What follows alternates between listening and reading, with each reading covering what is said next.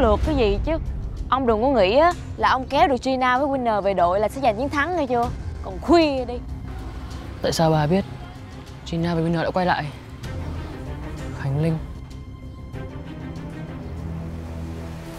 Ý tôi là tôi đồng ý là bạn gái của ông. Thật à? Thấy chưa biết ngay mà. Gina tính tình khó khăn vậy Dễ dàng gì mà quay lại. Mà ông đã xin lỗi Gina thật lòng rồi đấy. Tại vì từ trước đến nay ấy, Gina không bao giờ chấp mấy cái vụ hiểu lầm nhỏ nhen này đâu.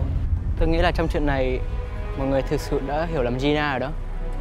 Gina không hề có ý định muốn rời nhóm chúng ta đâu. Không Chính mắt tôi nhìn thấy Gina đồng ý còn gật đầu nữa mà. Chuyện đó xưa rồi. Giờ tôi đang tiến hành rút học bạ để chuyển sang trường Mimi rồi á. Bà chuyển qua Mimi. Vậy, vậy còn trận đấu sắp tới thì sao?